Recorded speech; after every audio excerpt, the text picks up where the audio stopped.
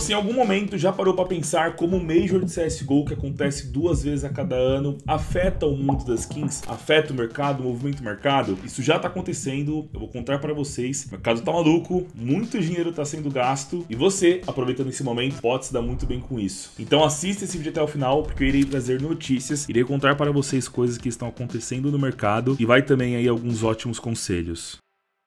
Facas safiras rubis. Não, vamos naquela que tem as duas cores. Esse mês, quem utilizar o cupom LORE no csgo.net participa do sorteio de literalmente 10 facas Marble Fates, incluindo Karambit M9 e Butterfly. Facas de mais de 7 mil reais que podem mudar a vida de um de vocês, além de uma linda AWP Desert Hydra semi-souvenir da Imperial. csgo.net é o melhor site para você abrir caixas e ganhar skins de CSGO. Então entra no site, usa o cupom LORE, Feito isso, preenche o formulário que está na descrição para participar do sorteio. Não perca essa oportunidade. Dashskins.com.br, o melhor site para você comprar e vender as suas skins de CSGO. O Rian tem o inventário mais caro do Brasil. Avalie.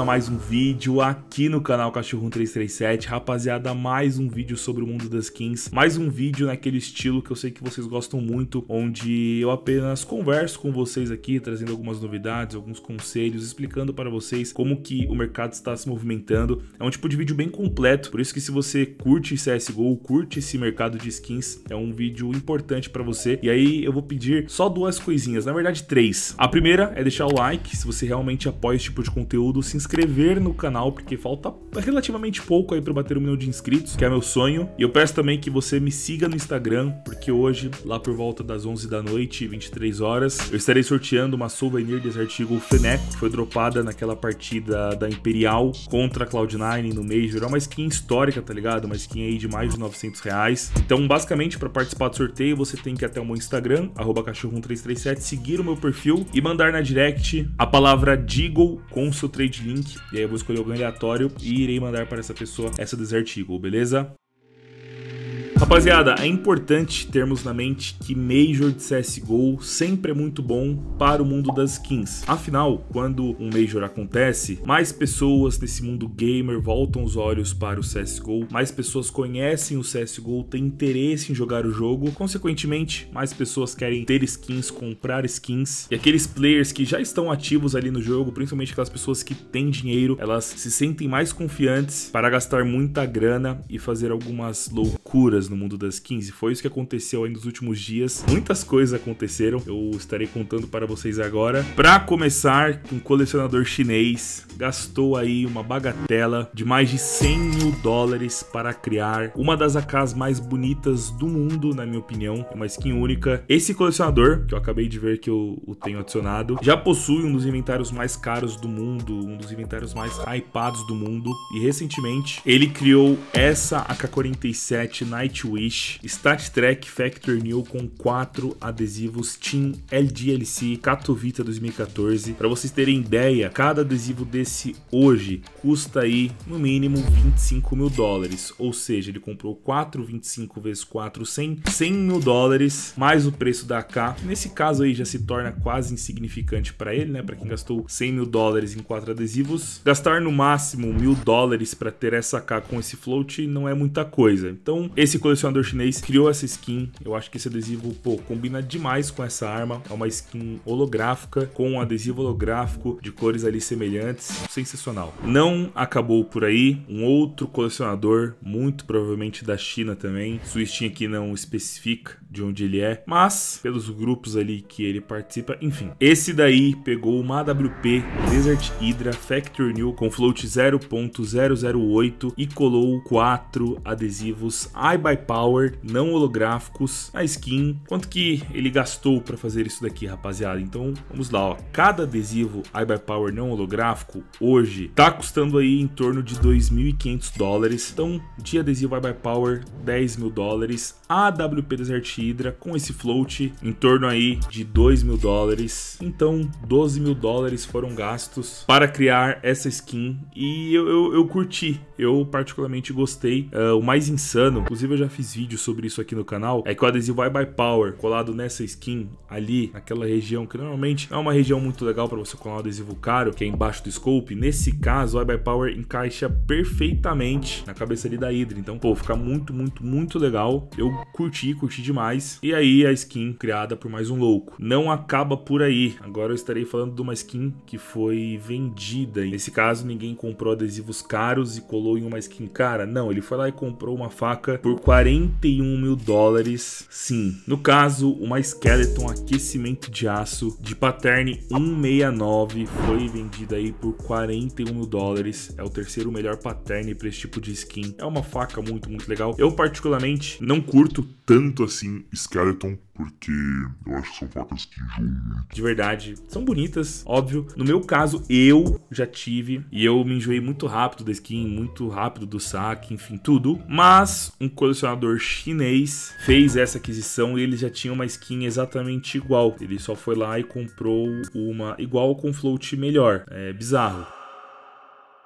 O que dá para notar com isso, rapaziada, é que os chineses estão voltando aí a movimentar muito o mercado de skins. E o ano passado, em 2021, todas as skins tiveram os preços extremamente inflacionados por conta dos chineses. Os chineses, podemos dizer que manipularam o mercado, subiram muito o preço de várias skins. A Butterfly Safira, por exemplo, ultrapassou os 23 mil dólares. A Dragon Lore ultrapassou os 20 mil dólares. Eu não vendi as minhas skins naquela época. Depois houve ali uma correção do preço das skins. Então tudo tudo voltou ao normal, porque foi uma manipulação, não foi uma valorização natural, e é provável que isso volte a acontecer. Caso aconteça novamente, dessa vez eu não irei perder a oportunidade de vender as minhas skins, ou grande parte das minhas skins. Fica o conselho aí para vocês também, né? Se o mercado inflacionar, se as skins começarem a subir 20, 30, 50%, 100% do valor, venda, porque pode sim ser mais uma manipulação do mercado chinês, depois o preço se corrige. Porém, rapaziada, mesmo que isso não aconteça, aconteça, o que dá para notar é que o CS é um jogo que não perde público. O CS é um jogo que apenas ganha público. E como eu disse no começo do vídeo, durante os Majors, o hype do jogo cresce. Consequentemente, novas pessoas conhecem o jogo, novas pessoas estão ali dentro do game. Essas pessoas irão desejar as skins e hoje o preço de tudo tá muito estabilizado. Tá num preço muito bom, tá no melhor momento, na minha visão, para se comprar skin. Até porque, para nós brasileiros, o dólar caiu bem, né, de 2020 para cá. O importante é vocês saberem qual tipo de skin comprar. Quando você for comprar uma skin, a sua prioridade não é lucrar com aquele item, não é ganhar dinheiro com o tempo. A sua prioridade é não perder. Caso um dia você deseje vender aquele item, que pelo menos você saia no 0 a 0. Mas para isso é importante você comprar itens líquidos. Então, se você está entrando hoje no mundo das skins ou se você uh, deseja comprar alguma faca, alguma Alp, eu sempre aconselho aqueles itens já antigos no mercado com uma liquidez altíssima, com uma demanda altíssima, como por exemplo, a WPS Move, a K47 Headline, facas Doppler, principalmente Doppler Phase 2, Phase 4, de float ali entre 0.04 a 0.02, são ótimas opções também. Block Fade, Desert Eagle Blaze, opções mais caras. Buscando liquidez, facas como Blue Steel, Damascus Steel, Stained, Infield Tested ou menos. Nunca Doppler, Tiger Tooth, Fade, Marble Fade Minimal Wear. Nunca, nunca, nunca. Lembrando que haverá mais um Major esse ano, um Major no Brasil, Major Rio, irá acontecer em novembro. Após esse Major que aconteceu na Bélgica, eu já estou notando uma movimentação do mercado, os chineses voltando